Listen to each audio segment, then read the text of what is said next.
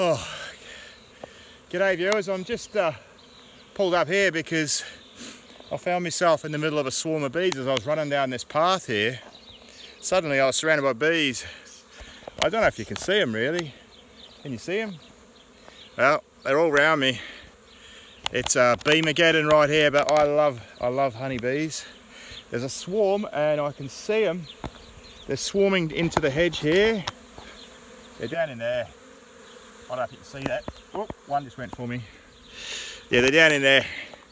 So they're uh, they're swarming. This is swarming weather, where the uh, bee, the hive splits when the second queen says it's time to go.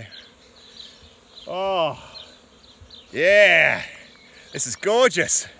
It's about 20 degrees, I reckon, around about. So for the UK, that's like 40. I tell you what, we haven't had it like this. I mean, it's getting warmer and warmer all the time, and uh, check these bees out. They're going mental. So uh, anyway, just thought I'd show you the bees. The bees in uh, out on Kempshott Lane. I better let this guy know there's a guy coming down there with a dog, and he's going to freak out in a minute. So I better let him know that they're all right. They won't go near you. All right. So uh, whoop, another one had a go at me. Oh, they're getting a bit interested in me. I don't like me, uh, me shirt.